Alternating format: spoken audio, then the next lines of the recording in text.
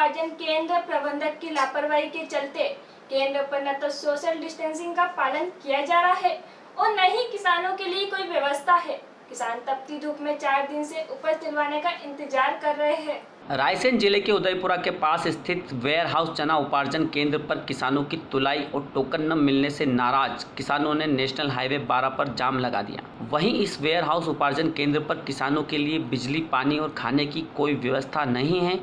इसके बावजूद यहाँ पर केंद्र बनाया गया, जिसका खामियाजाना किसानों को भुगतना पड़ रहा है। वहीं किसान लगभग तीन चार दिन से अपनी उपज को तुलवाने के लिए कड़कड़ाती धूप में इंतज़ार कर रहे हैं। पर सर्वेयर की मनमानी के चलते पहले से आए हुए किसानों की उपज को न तोलकर पक्षपात करते हुए बाद में आए किसानों की उपज को तोला जा रहा है, जिससे नाराज़ किसानों ने नेशनल हाईवे पर चक्का जाम किया एवं केंद्र प्रबंधन पर कार्रवाई की मांग की।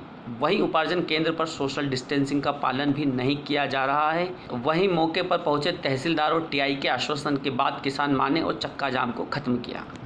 रमाकांत क्या समस्या आ रही है? आपने किस बात को लेकर चक्का सर्वे नहीं आया यहाँ पे। क्यों? और उन्नीस तारीख का हमारा मैसेज है अभी तक कोई तोल नहीं हुई। उन्नीस तारीख से आप यहाँ खड़े हुए हैं नहीं चार दिन से यहाँ खड़े हुए हैं। अच्छा। हाँ, प्रशासन से तहसीलदार वगैरह कोई नहीं आया हाँ, कोई नहीं आया यहाँ। और दो दिन से सर्वे ही नहीं आया यहाँ पे।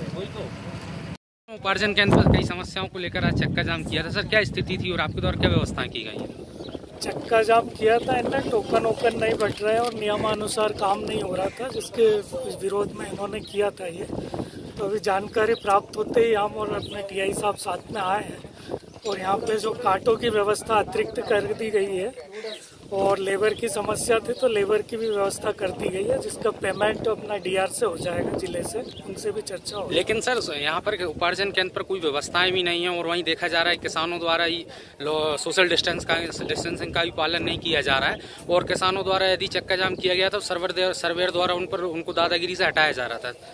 सर जब लापरवाही यदि उपार्जन केंद्र वाले द्वारा बढ़- बढ़ती जा रही है तो फिर ये दादागिरी के तहत क्यों काम कर रहे हैं आप? नहीं सोशल डिस्टेंसिंग का ध्यान कर, रखने के लिए बार बार इनको समझाइश दी जा रही है और पालन कराया भी जा रहा है।